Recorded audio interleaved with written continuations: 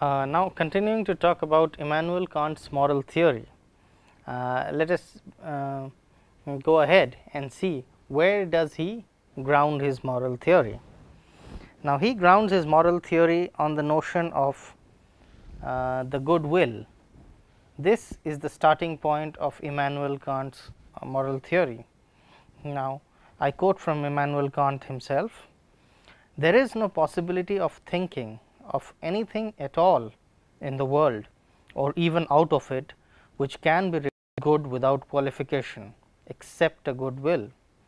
Intelligence, wit, judgment and whatever talents of the mind one might want to name are doubtless in many respects good and desirable, as are such qualities of temperament as courage, resolution, perseverance.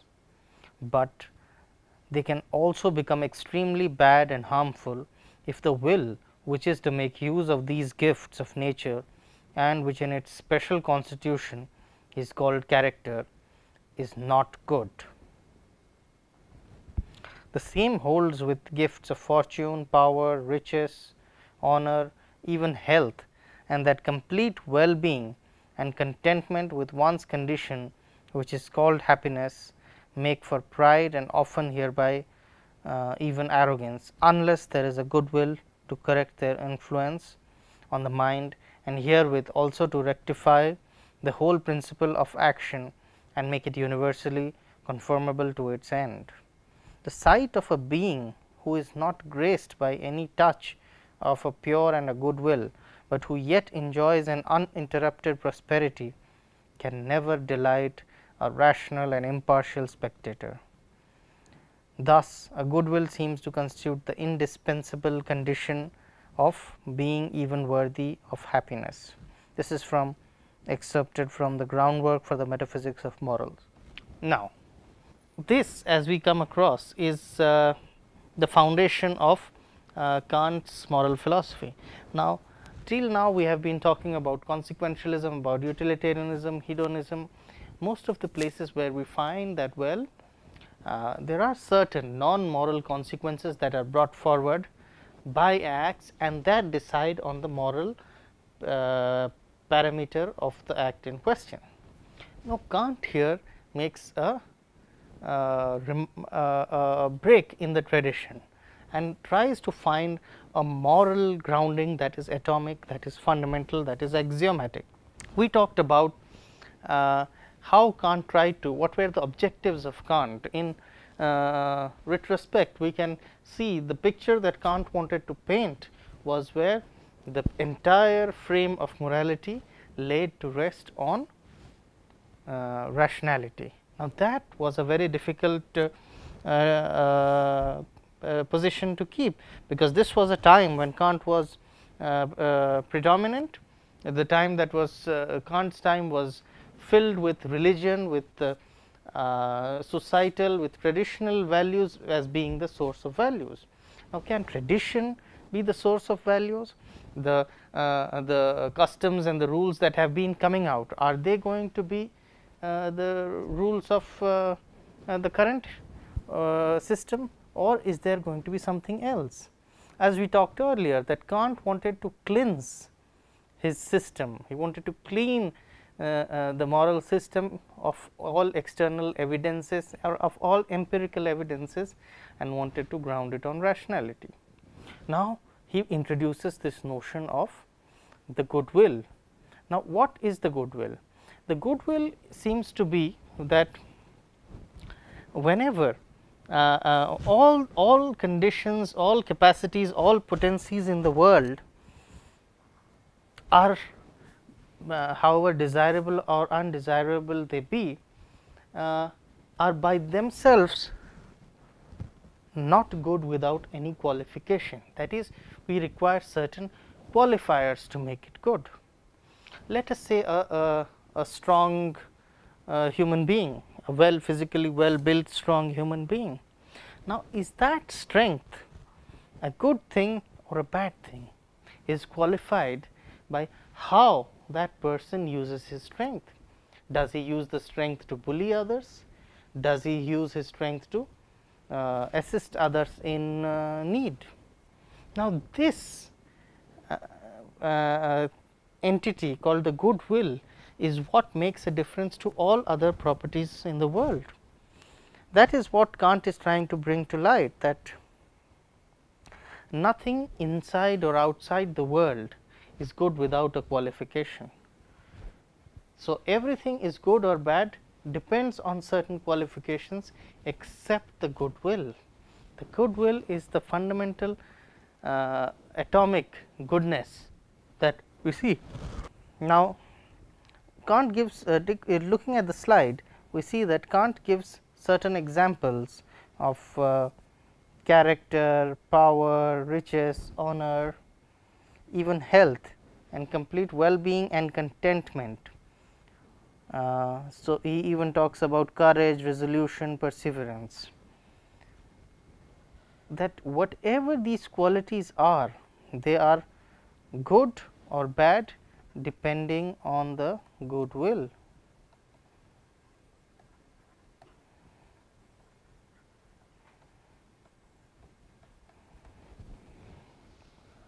So, then he later talks about that the sight of a being who is not graced by any touch of a pure and good will, but yet enjoys an un uninterrupted prosperity can never delight a rational impartial spectator.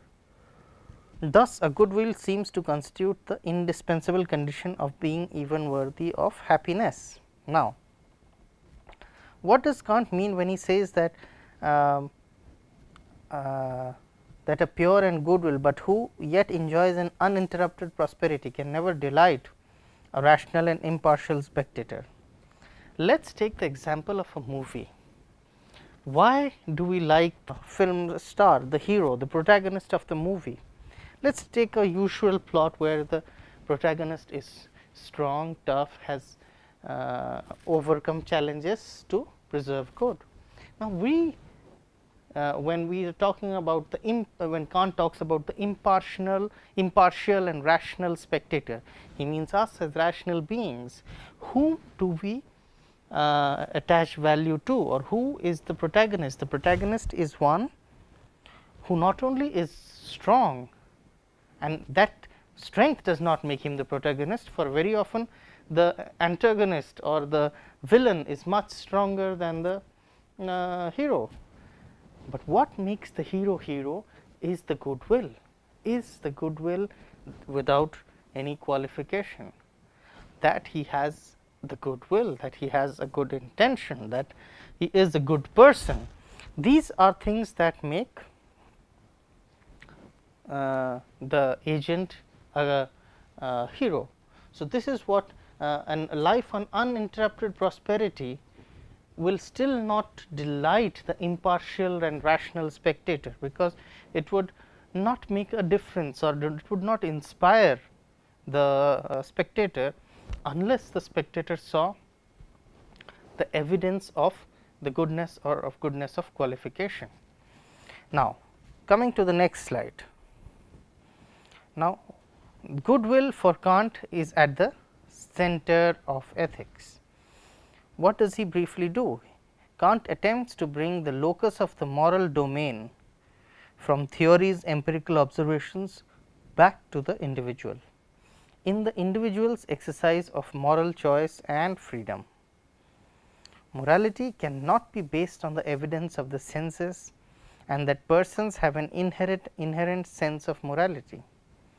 The objective the objective of an act is to be called moral is not benefit, pleasure or satisfaction, an act is moral only if it is done from a sense of duty and nothing else.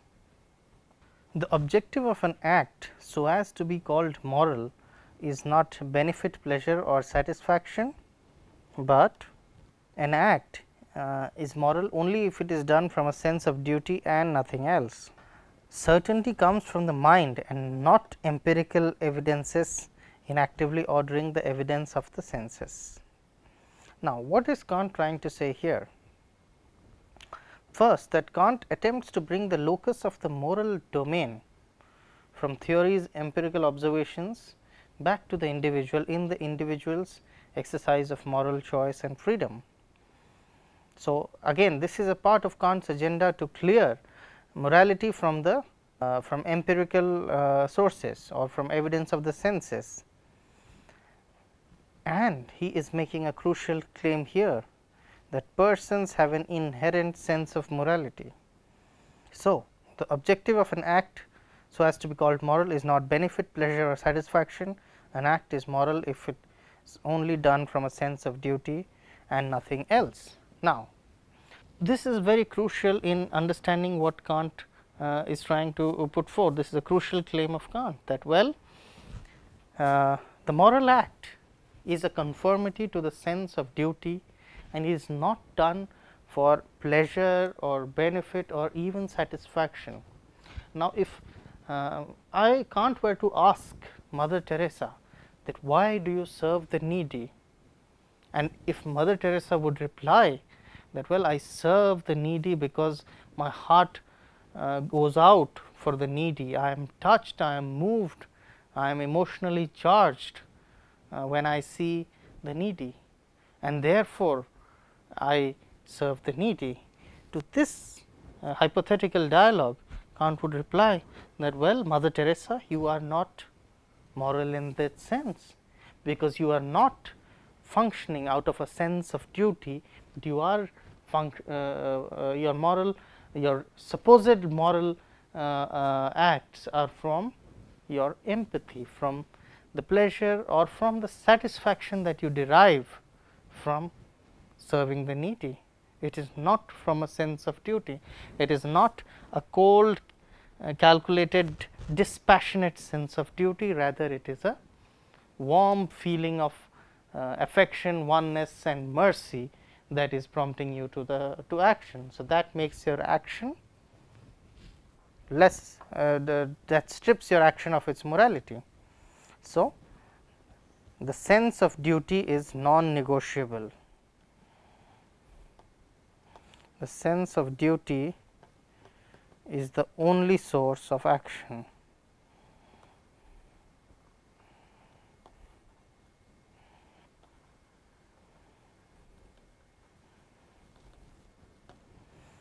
Now, so thereby, the certainty that comes for moral actions and moral claims come from the mind and not from empirical evidences.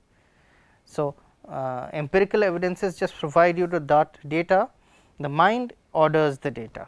Now, let us go to the next slide. What the uh, Kant talks about this thing called the categorical imperative very often abbreviated as the CI. What is the categorical imperative? The test to determine the right from the wrong that is this in a single uh, claim is what Kant means by the categorical imperative. The principle to determine the right, it can be known a priori that is by reflection alone as it is a part of our mental structure. Categorical as opposed to hypothetical or goal based imperative because it is a must or is a binding. First let us talk about these two claims. Now, what does categorical imperative mean? Now, the categorical imperative would perhaps mean not perhaps, but would definitely mean uh, uh, something of a rule of a moral command. Now, let us look at the board to see what uh, how best can we understand categorical imperative. This is quite a profound concept that uh, Kant has come up with and we are just skimming at the introductory level to present a brief overview of what Kant's philosophy is. Now, there are judgments we do if I want x, I would or ought to do y right. Now, look at these two. If I want x, I would do y, a fairly simple conditional statement. Now, this is something which is called a hypothetical imperative. This part of it is hypothetical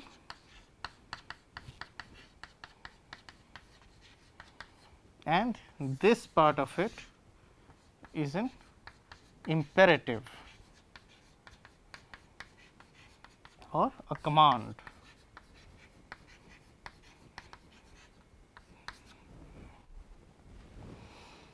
Now,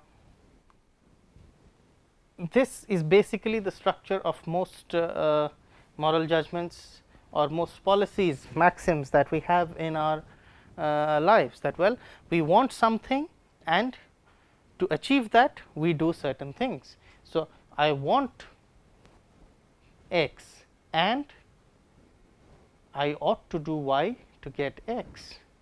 This is an example of a hypothetical imperative. Now, let us look at an example of a categorical imperative.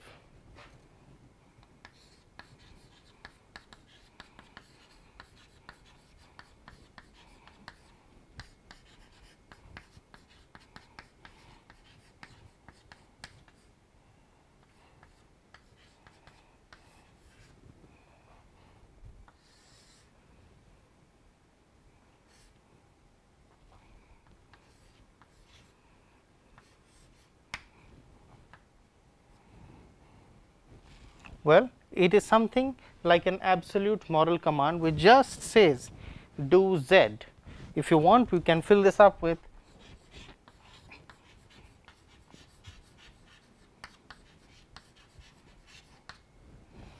no matter what.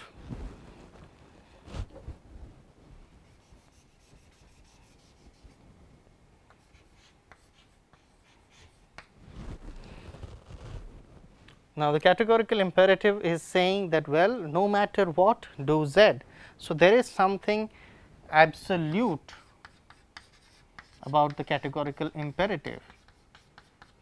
Okay. Now, let us not uh, uh, get confused with the words and the phrases that uh, Kant uses. What categorical imperative essentially means is that well there are some things right which are categorical. Categorical meaning they have to be done right. Uh, they are an imperative because they are a command, a command which is categorical or which is uh, to be followed for its own sake. It is not hypothetical, it is not a command or an imperative to be followed for some goal, but it is an imperative or a command to be followed for its own sake. Now, here is where Kant is unfolding his moral theory that it comes about that well there are things that ought to be done for its own sake right. Now, let us take a look at the slide. When there when we mention uh, talk about hypothetical it is goal based because it is a must or a binding, but the categorical imperative is done for its own sake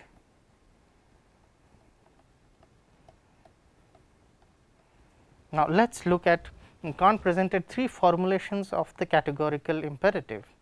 The first formulation reads act only on that maxim which you can at the same time will to be a universal law. Now, this is a small uh, sentence, but which puts forth the first formulation of uh, the categorical imperative. It says that act only on that maxim which you can at the same time will to be a universal law. Now, what does it say? Well, what does a maxim mean? A maxim is a subjective principle of judgment. Let me write that on the slide for your clarity. It means a subjective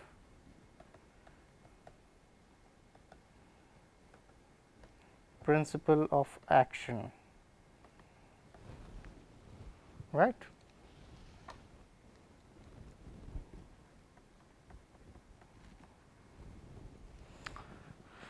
Okay, act on that maxim or that subjective principle of action which you can at the same time will to be a universal law. Now, let us uh, say what these are words that we are using categorical imperative maxim we are using these words, these phrases which are directly from Kant and thereby let it not confuse you or uh, make it sound superfluous. These are words used by uh, uh, or translations from Kant's works, but what we mean in essence is crucial for you to understand that well Kant is saying that well what the first axiom or the uh, first formulation it is not an axiom it is a first formulation of the categorical imperative. And as you can see it is empty, it is bereft of any content, it does not claim that there are any uh, that uh, there is any description of what one must do, he just puts a formula and what is that formula? The formula reads that act only on that maxim which you can at the same time will to be a universal law. Now, what is Kant saying? Kant is saying that well anything to do, what is this filter of right rightness checker which we call he calls the categorical imperative. Any act is right if the principle with which you act can be universalized.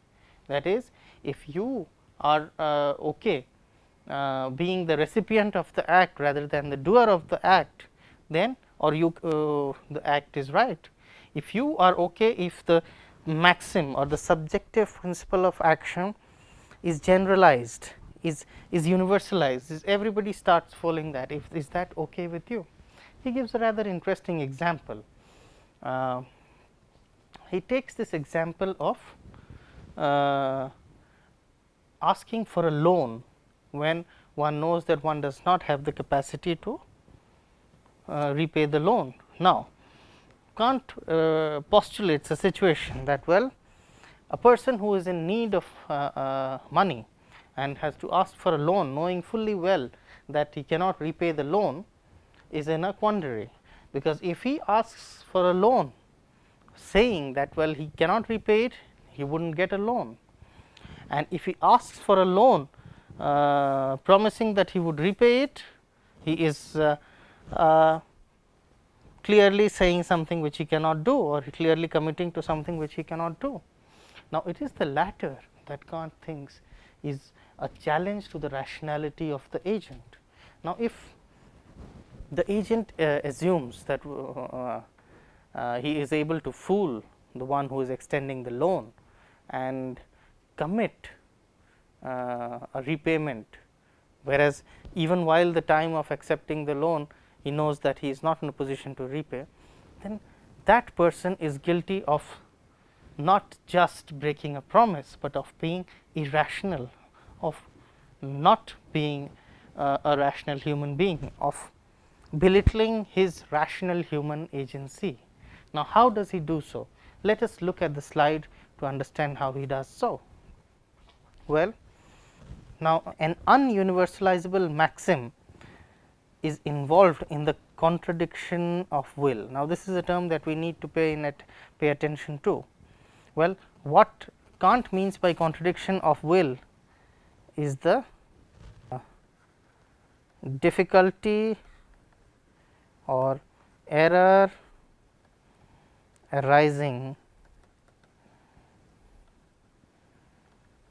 from breaking one's commitment or breaking or more accurately violating the categorical imperative. Now, let us look at this case that is uh, put on the slide. X makes a promise and X violates the promise when suitable. For by the very act of making a promise X, let us look at this example. Uh, X let us say x makes a promise and x violates the promise when suitable. For by the very act of making a promise, x does something say p and then by violating it, he does uh, when suitable does something called does something which can be termed as negating p. Now, x asserts p very well knowing that she or he would negate p later. This is the contradiction of will that Kant points out. So, uh, let us look at this what is what, what is wrong with the contradiction of will or what does Kant mean by the contradiction of will.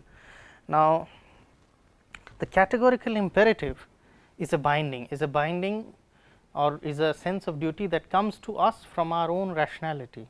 It is not something which is enforced by anybody else. Let me make it simpler. Well, when you feel that there is something that you must do no matter what, that it is your duty to do uh, that particular act, then you are functioning from uh, a sense of duty which in certain interpretations could be the categorical imperative. Let us uh, uh, take the example of a doctor to whom an, uh, an injured terrorist or an extremist or a criminal, an injured criminal has come for treatment. Now, the oath of uh, um, the doctor is to uh, provide treatment to any uh, patient or any victim or any injured who comes to him. But knowing this that well if he does uh, uh, extend treatment to this particular patient of his, there might be more harm than benefit to people at large for the uh, patient is none other than a criminal who is most likely to do something wicked or evil if he is rendered back to his health. Now, what does the categorical imperative here say? The categorical imperative is your sense of duty. It is well what you would like uh, to be done to you. Uh, if you uh, it is like the uh, religious adage that do unto others what you would like others to do to you. Now, the categorical imperative here uh, would be to do what you uh, what is your call of duty. Now, look at it uh, in on the slide. Now, when um, x is asserting something that well you should do this or he makes a false uh, in this particular case of loaning he makes a false promise that he can repay the loan he is actually contradicting his will contradicting himself because he is asserting something which he uh, knows that he would negate later asserting P fully knowing that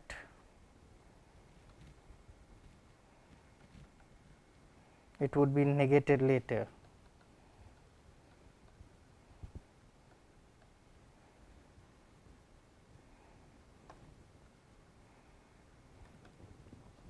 So, considering the doctor example too, when the doctor provides treatment to the patient who happens to be a criminal, well if the doctor just does his duty then he is not contradicting his will, but well if he has uh, this sense of duty that he should help all then uh, he brings uh, by not helping or not treating the criminal he does something which is contradicting his will.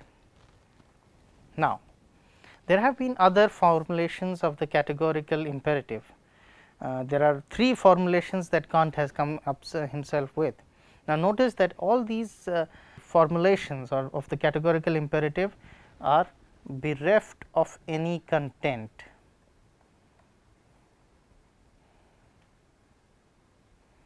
They are just forms, right.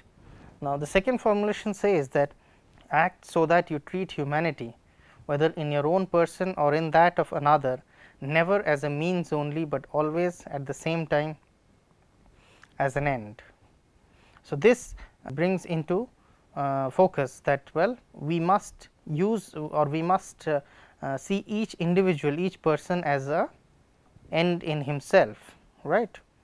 Now, this also interestingly has many ramifications especially in political philosophy that we are all equal on the moral plane.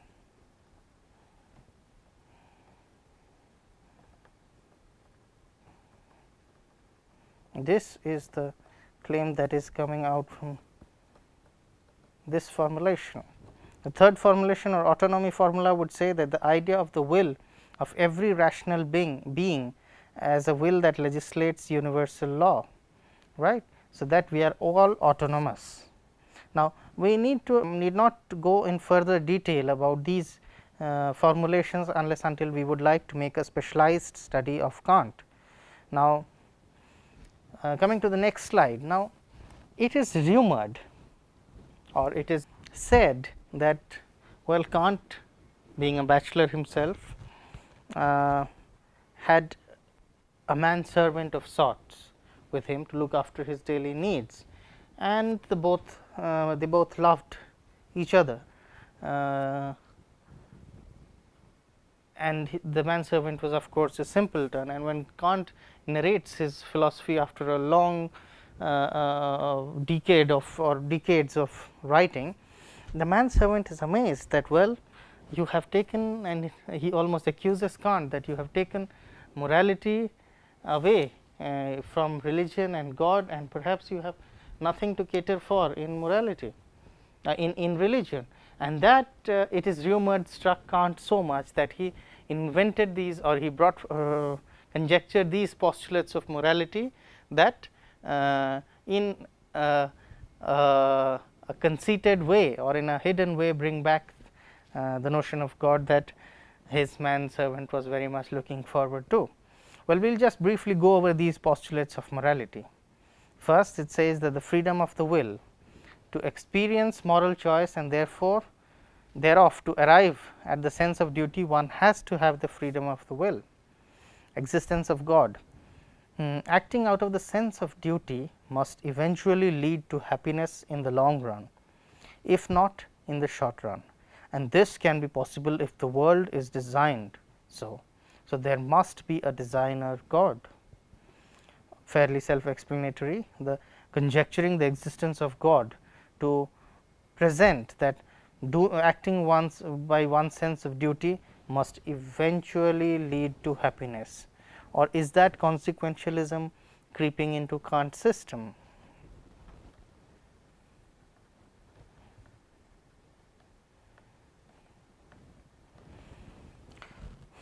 Now, and the third one is the immortality of the soul acting out of duty may cause harm and pain in the short run. So, there has to be an immortal soul as the agent to achieve sought in this lifetime.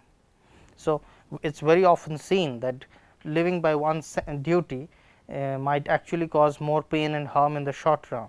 So, uh, Kant conjectures that there has to be an immortal soul that benefits from the good um, that could be accumulated over time. So, ultimately both uh, um, these postulates are trying to hint especially the second two postulates are could be accused of uh, uh, letting in consequentialism from the window.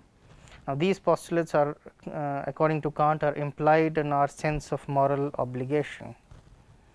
Now, let us sum up. So, briefly what is Kant's position? Kant wanted to establish a moral system on the unshakable foundations of reason or rationality indifferent to the less sturdy foundation of empirical evidence. Moral choice is the basis of asserting free will. Moral acts only emerge from a sense of duty.